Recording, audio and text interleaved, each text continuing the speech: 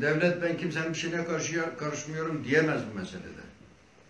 Çünkü burada dehşetli büyük bir potansiyel var. Dehşetli büyük bir silah var. Bu silah ne ahilin eline geçerse yanlış işe sebep olur. Teröre sebep olur, anarşiye sebep olur. Darbeye sebep olur. Bugün olduğu gibi 15 Temmuz hadisesi gibi. Bunların, bunların hepsi biz Nur Risale-i talebesiz diyorlar. Risale-i Nur okuyorlar. Nasıl okuyorlar bunlar? Buradan bu manayı nasıl çıkarıyorlar? Tabi hakikati söyleyenler basına basın imkanı yok, yayın imkanı yok, dernek imkanı yok, vakıf imkanı yok, yurt imkanı yok, o yok, o yok. Yani milli imkanlarıyla yani fakir fukaranın cebinden ayırdığı şeyle daima dehlizlerde, bodrumlarda üç kişinin, beş kişinin titriye titriye dinlediği ders yerlerinde barınabiliyorlar. Öbürü dış destekli, devlet destekli. İşte bir FETÖ ile oynadılar. İngiliz kraliyet makamı oynadı yerinde. Alman şansölyesi yerinden oynadı. Çin'in bilmem nesi yerinden oynadı. Amerika'nın Hillary'si yerinden oynadı. Hepsi arkasında. Batılı bütün dünya devletleri desteklemiş bir batıl fikri tamime çalışırken devlet bu benim ben bununla ilgilenemem diyemez. Devlet bu işin doğrusunun desteğini vermek mecburiyetindedir. Bunu vermezse başına çok daha belalar çıkar. Çok belalar çıkar. Bağıra bağıra söylüyorum bunu. Kimseden de bir şey beklediğimiz yok. Ama ömrümüzün sonuna gelmişiz. Kur'an hesabına, iman hesabına, Risale-i Nur hesabına mükellefiyetimizi bağıra bağıra söylüyoruz. Kimsenin de ayağına gidip bir şey anlatmam. Gelirlerse ayağımı anlatırım mesele kendilerine. Böyledir. Böyledir. Yani FETÖ hadisesi birinci günden itibaren bu adam ters gitmiştir. Birinci günden itibaren maksadı başkadır, Risale-i Nur'u kullanıyor. Bunu 1986'dan beri bağırıyorum. Hepiniz şahitsiniz. Maksadı başkadır. Risale-i Nur'un gücünü maksadı istikametinde istismar ediyor. Bu ettiyse başkası da eder.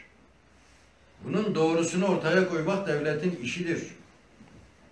Bu büyük imani, Kur'ani potansiyeli devlet desteğini almak mecburiyetindedir. Himayesini almak mecburiyetindedir. Kimsenin bunda bir menfaati yok. Hiç kimsenin bir menfaati yok bu meselede. Yalnız vatan zarar eder, millet zarar eder, Kur'an zarar eder, İslamiyet zarar eder, cemiyetimiz zarar eder. Ve etti. Böyle basit bir kurşun kalemle hesap çıkarın bakayım. 15 Temmuz'un Türkiye'ye maliyetini bir çıkarın bakayım ne, nedir? 15 Temmuz'un bir maliyetini çıkarın bakayım Türkiye nedir? 30 senedir 30 bin, 40 bin insanımız öldürüldü. Bunun maliyetini çıkarın bakayım. Bunların hepsi bu memleketin yerli malı dehşetli büyük bir potansiyele sahip Risale-i Nur'a sahip çıkılmamasındandır. Şarkın adamı dindardır. Onlara din ile yaklaştığın zaman öbürleri yiğit gibi ortada kalırlar. Alman ajanın, Fransız ajanın, İngiliz ajanın orada yapabileceği bir şey yoktur. Ama devlet, devlet devlette yeni yeni işte 2005'ten sonra o da 150 senelik bir iş, birikmiş dinsizlik var. İşgal edilmiş memleket, parsellenmiş memleket. Memleket parsellenmiş. Yani zahiren bir harita görünüyor.